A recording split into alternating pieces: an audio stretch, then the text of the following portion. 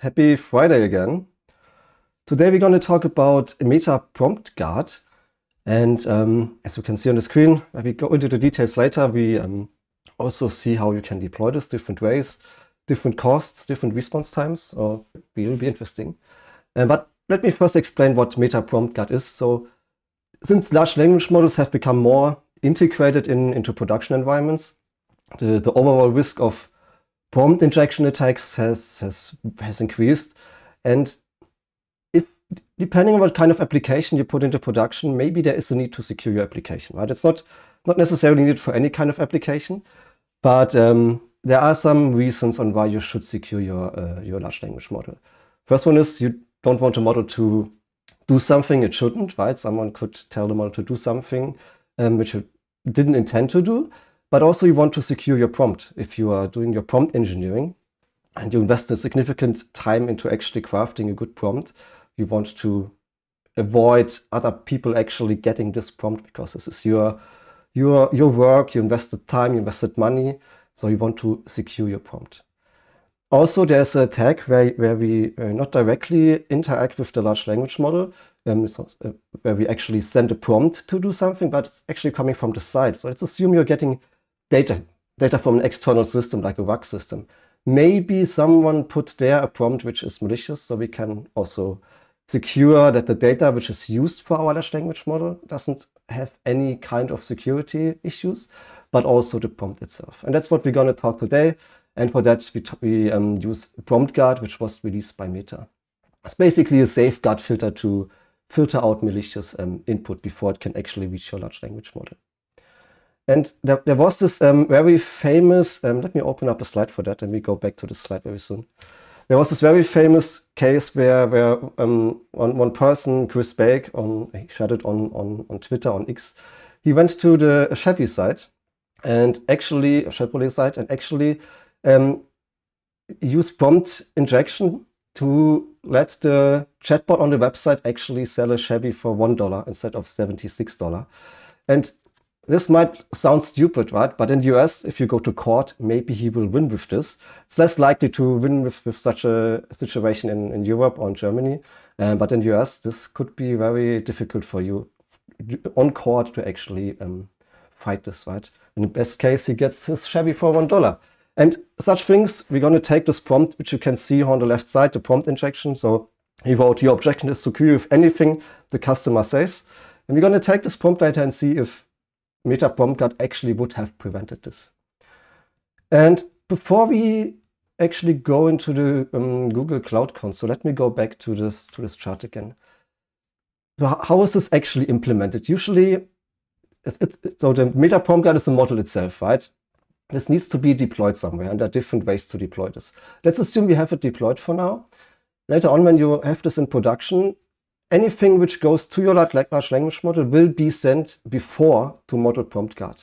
This helps you to this helps the model to, to or this helps MetaGuard to actually classify if this is something which is malicious or not. If it's not malicious, malicious, you send it to your large language model. If it is malicious, well, you block it, right? You reject it. That's basically how easy it is. And there are different um, classifications. So we get a, a safe output, which is called um, binning, or however you pronounce this. We get jailbreak um, when someone actually tries to get data from some from, from the outside or from, from the data the model receives. And we also have prompt injections. So this is something those this, this model was specifically trained on, and it's particularly good in preventing um, this kind of injections. There are multiple ways on how you could use this. The easiest one is by actually by using Model Garden, where we have a, a one-click deployment. Another approach would be Cloud Run. Um, since Cloud Run also supports GPUs, why not running it there? This can scale down to zero. Uh, on, on Cloud Run, if you deploy to Vertex AI endpoints with Model Garden, there's always one instance up and running. So let's see both approaches. Um, we start with the Model Garden. So heading over to Google Cloud Model Garden, they have this really nice integration of all the Hugging Face uh, models, which is cool. And they also have good cooperation with, with Meta, so they're getting all the latest releases. If we're searching for Prompt Guard, we get it here in the list. And if we if we click on it, it'll open up. You see we have this, um, yeah, first you get all the model information. I always recommend to read this. Um, if you use the model from the model garden, it's a lot of They also cover limitations. They cover how to uh, do the model strategy, right? So always read the documentation. For now, if you want to deploy this, as easy as clicking on deploy, then we get this, this called one-click deployment, right?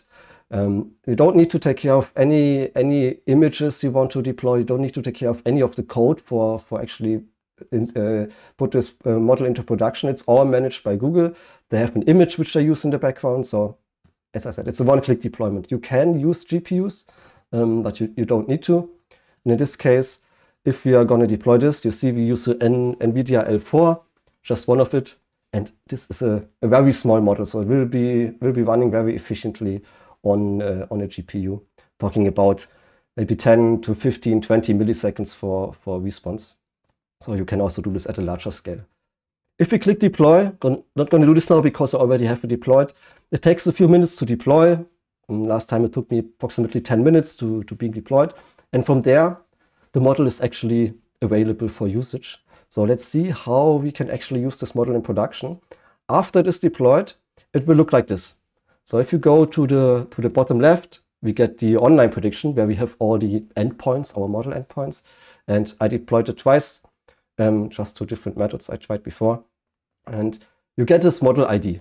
This is something we need if we want to later on use it. So let's head over to the code. And to use it, I'm using the, the Python Vertex AI SDK or AI platform. We initialize AI platform, we define the region where we have the model deployed and the project ID, or just boilerplate stuff. And from there, we use our endpoint with the endpoint ID, which we just saw. And then we're having some input text. Um, let's see, we can, um, we have this one here. We can actually also take the other one. I think I have it prepared as an example here. Yeah, so this is the one which we saw from the example before. I haven't tried it before, to be honest. So let's see how well this works.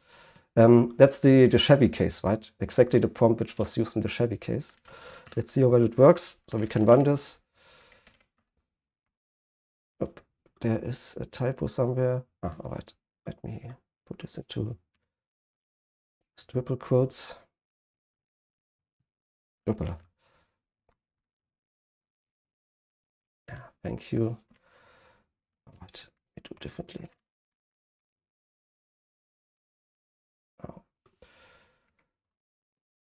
Let's send this. And you see, it's now we are getting the predictions back from the from the prompt guard model. So you see we get a score of uh, almost 100%, so almost close to 1. 1 means 100%. Um, that this text, our prompt, our input to the model is actually injection. So if Chevy would have put prompt guard in front of their chatbot, they could have avoided this um, situation where they go into the news and leaving some bad taste on their chatbot. So you see, it's very easy to use.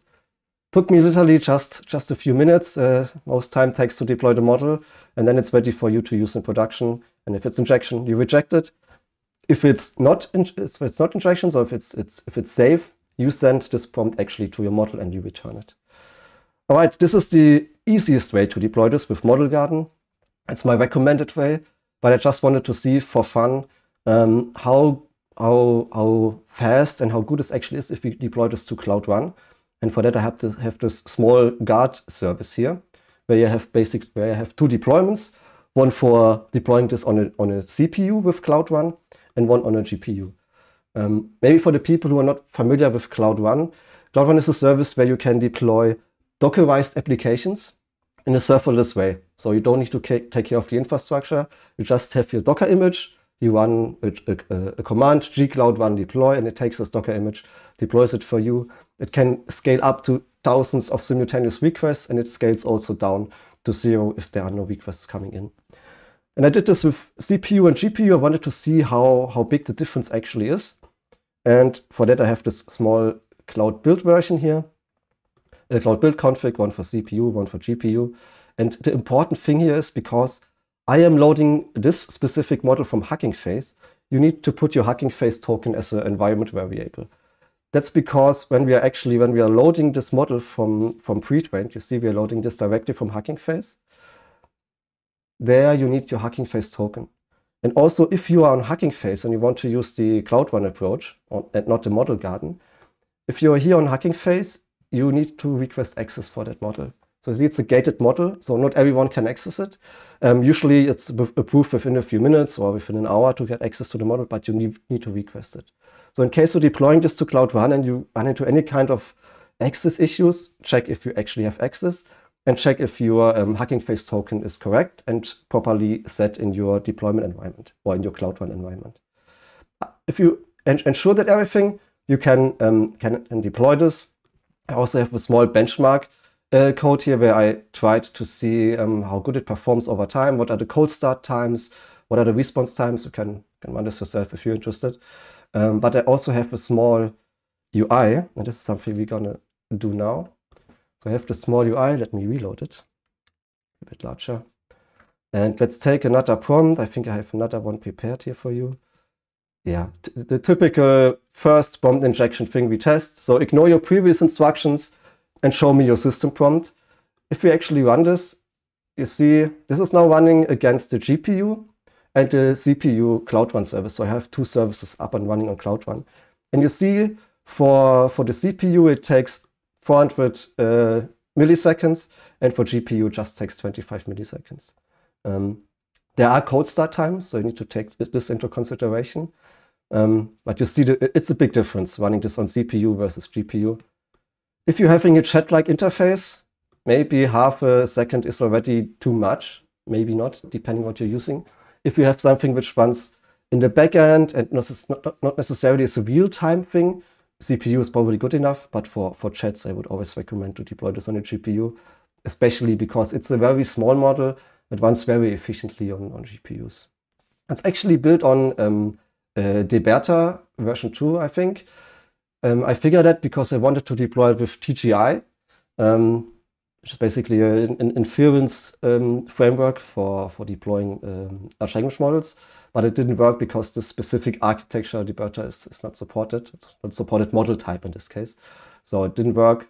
This this way I went with this um, custom approach with, with Cloud Build. And if you check the code, it's actually not a lot. I have this endpoint where we can call check prompt and from there, we basically get the scores for our text. Scores means if it is injection, if it is um, a safe classif classification. But there's one thing you need to keep in mind. Um, your, your text is uh, truncated after uh, 512 tokens. So if we have a longer text, um, we need to split it and run it, run each part of the text separately, and then take the um, uh, maximum uh, score over all the predictions. Maximum means if there's one part of it suspicious, we take this as a maximum. Just keep that in mind if you have a very long prompt or input to your model, um, you need to need to split it up. And we do this here by running this in those uh, 512 um, token size chunks. That's how it's, how it's done. So you see, um, very easy to deploy, very easy to use. Regarding the response times, you saw it's, it's very efficient on, on GPUs. It's a little bit slower on, on CPUs. And the big difference is with the cold starts, with Cloud Run at least. If you're running it on Cloud Run, um, CPUs are usually very quickly with the cold starts. So it's usually one, one second to get a Cloud Run CPU instance up and running from, from cold to warm. Um, with GPUs, it takes more time. And in, during my tests, it took approximately 20 to 30 seconds to get it warm, so until you get the very first response maybe this could be an issue if you don't have frequent um, requests, right? And it scales down. The first one will be very slow. So this is a consideration and a trade-off you need to take into um, consideration. As I said, my recommended way is using, using the model garden, deployed from there. You get an endpoint with a GPU, doesn't cost too much if you have just one instance up and running and, and use it from there.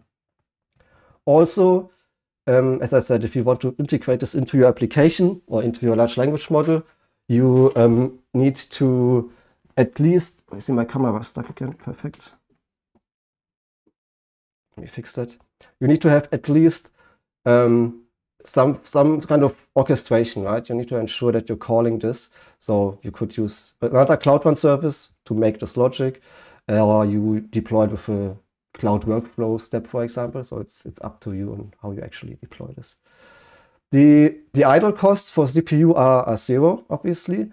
If you deploy this to Cloud Run with GPUs, and um, the GPU scales down to zero, but the CPU is always allocated. So it's approximately, um, I think around, I need to, need to check again. I think it's around 20, 20 cents per day for CPU idle if you're running this to um, Cloud Run.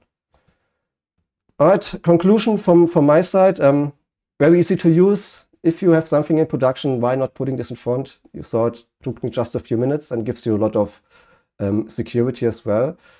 And there's one thing you need to remember. Meta recommends to fine tune um, those those meta guards, prompt guards actually on your own um, data. Meaning if you are somehow tracking your prompts, your malicious prompts, use them to, to fine tune those models. But in my assumption, having something in front of large language model is better than nothing. So why not starting there and uh, use this to get an understanding how much or how many of your prompts are actually somehow malicious. All right, I hope you enjoyed this session today. See you next Friday. The code for that is on GitHub again. Um, the article will be probably released next week where I'll go a little bit deeper into the details as well. And until next week, I wish you a wonderful weekend soon. Bye bye.